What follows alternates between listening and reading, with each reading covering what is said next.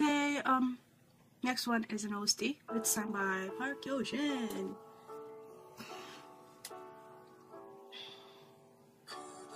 Oh, I know her. Uh, She's I've seen some dramas that she was in. Is that Young Hwa or something from Sanbu?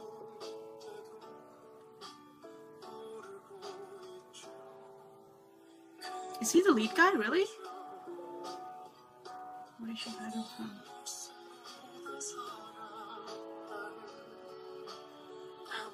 Like, don't tell him I'm here or her.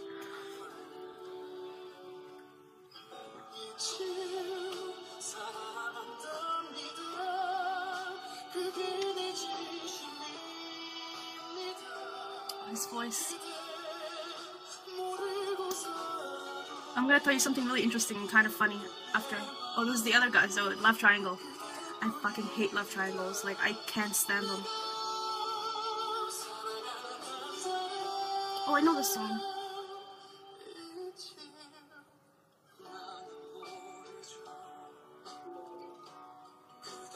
I feel like he's the second lead guy and he's not gonna get the girl.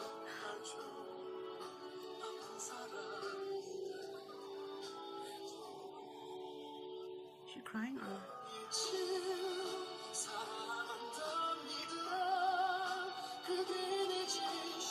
I'm so confused. Is he the same guy or like, cause is that sup- is Younghwa supposed to be the younger version of him or are they like two people? I'm so confused. And then this girl likes him. Korean dramas. Oh,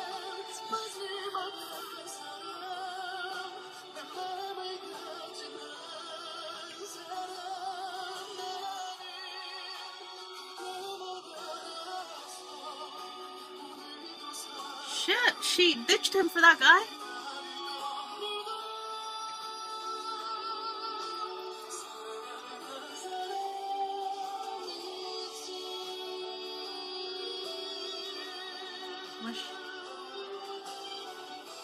She's pretty.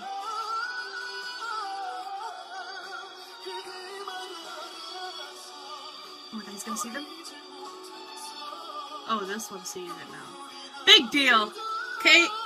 Oh, I hate, I like, with all my heart, I can't stand, like, love triangles. Like, they just, they make no sense to me. I mean, it happens, shit happens, but, like, why was that girl shocked?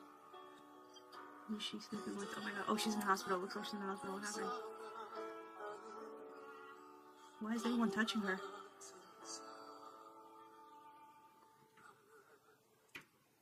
Okay, you know, when I'm watching OST, like, for dramas like this, I tend to pay more attention to, like, the actual story, whatever I'm looking at, the drama itself. This part, like, this time, I just, I was so, like, I was watching it, but, like, my mind and heart was more into the song, like, his voice, than the actual music video. Is that, is that sad? Wait, is this? Yeah, it's 1994 reply something. That was nice, but I don't get it. Like, it was a love triangle, wasn't it? I thought at first it just it seemed to me like Young Younghwa, the guy, the guy from like Saint Blue, was the younger version of the guy because I don't know, it just felt like that.